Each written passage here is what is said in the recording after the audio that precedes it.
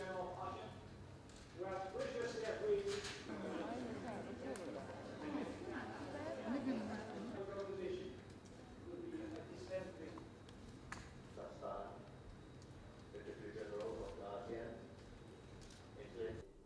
The current energy crisis demonstrates the vital importance of energy resources to our well being. We cannot afford to shy away from the hard decisions on managing our energy resources. We need to accept reality that we no longer live in an era of cheap oil prices. We need to look long term and develop our resources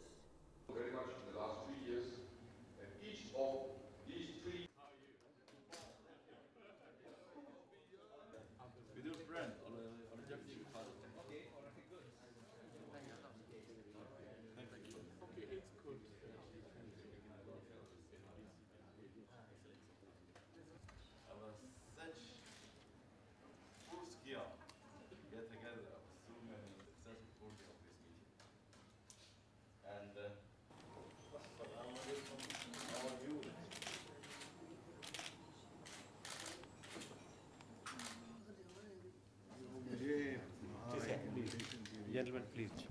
very tasty lunch and uh, we had a very good walk. We discussed all the issues that are necessary for us to discuss and we had a very positive state of mind towards all the issues.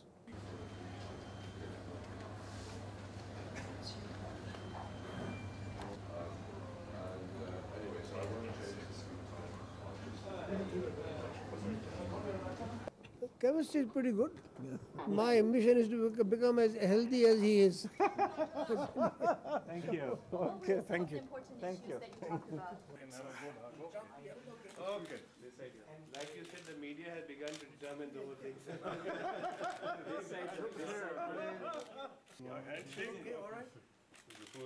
We have to be actors also now, foreign ministers. Thank you. Thank you, thank you.